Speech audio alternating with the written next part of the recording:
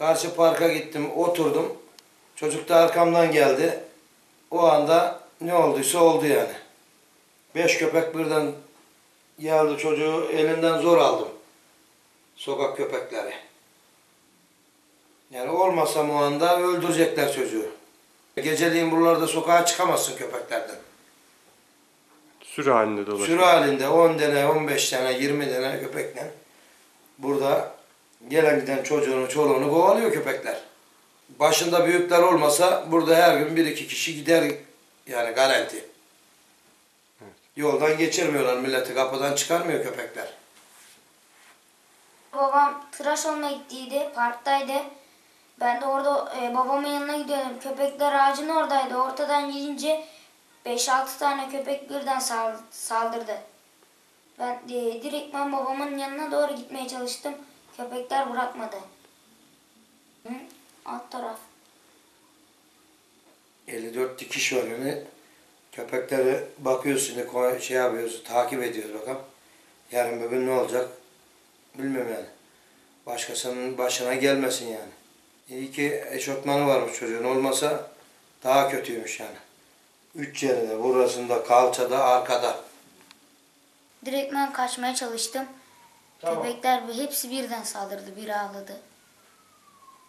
Bağırdın mı sen? Yardım istedin mi? Babam e, aramızda ya beş, bir saniye olmadı babamın tam arkasındaydım. Köpekler oradan birden tuttu biri.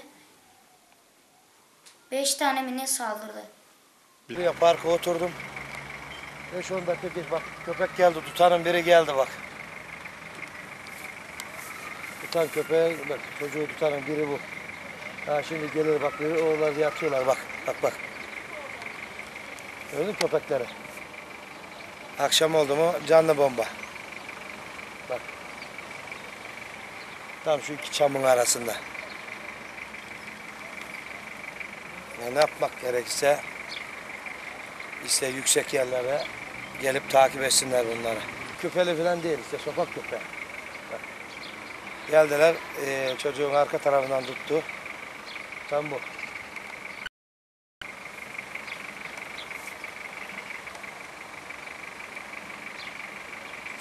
Ben burada çocuğu elinden aldım.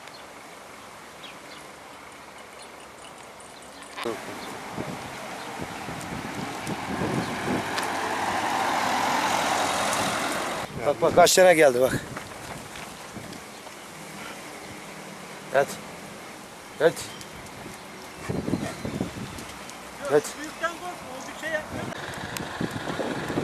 Çocuklarım oynamalı.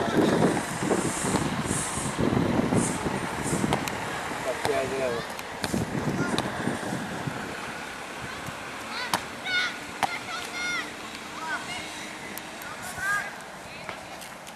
Görüyor musun işte çocukları, köpekleri.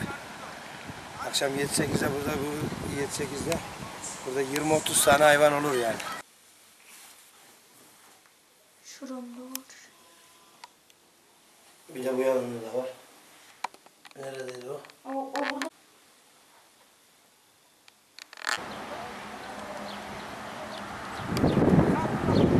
Uzunlardan o uçur bakalım bir tane.